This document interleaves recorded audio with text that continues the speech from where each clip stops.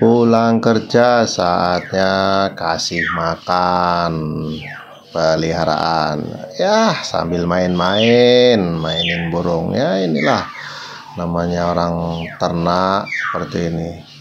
Jadi, suntuk di kerjaan, pulang bisa kita fresh lagi melihat burung, melihat peliharaan sambil kita main-mainin seperti ini ya seperti inilah kelebihan keuntungan kalau kita punya hewan peliharaan seperti ini. Jadi ada yang buat mainan ngilangin stres gitu katanya.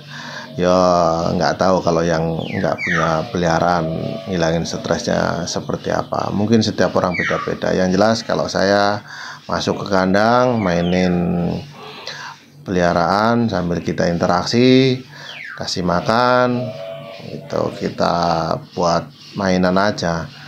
Jadi dia lebih ada kedekatan dengan kita hafal dengan kita jadi lulut dengan kita. Nah, itu kelebihannya.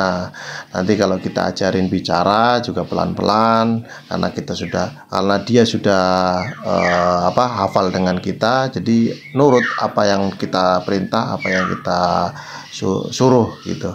Ya jadi kalau memang belum mau ya belum mau kosakata ataupun belum mau kita suruh ya pelan-pelan aja pelan-pelan lama-lama juga mau. Yang penting kita interaksi kita los kita sayang dia itu jadi jangan khawatir.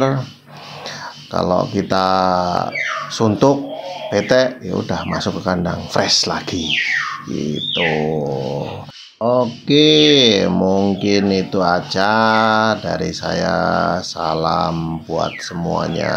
Terima kasih para penonton yang sudah setia menonton video-video saya.